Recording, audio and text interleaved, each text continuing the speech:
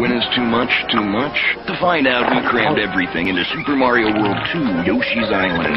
60 more levels, massive enemies, huge Yoshi tricks, all served up with the latest graphic technology, Morphmation. Hmm, no more. Sure you don't have room for another little bonus level? Uh-oh.